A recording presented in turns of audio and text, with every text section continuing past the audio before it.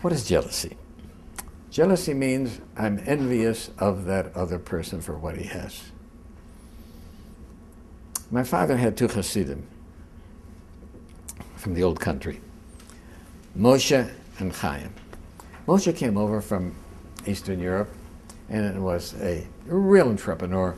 Opened up a little uh, uh, storefront laundry, did very well, increased the laundry, ended up having a huge laundry and a linen supply, right?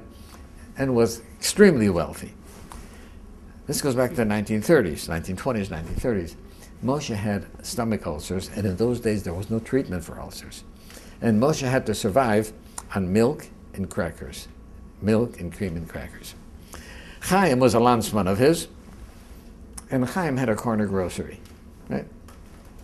So the two get together, and Moshe says to Chaim, "No, Chaim, how are things with you?" Chaim says, "Moshe, they're no good. I have to get up four o'clock in the morning to go to the market to get stuff for the grocery, and then I have to stand on my feet until nine o'clock at night. And what do you think I earn from that? All I earn enough is to be able to have rye bread with radish." And Moshe says, "Chaim, you're a fool." Right? If I could have rye bread with radish, I'd give you all of my laundries. Right?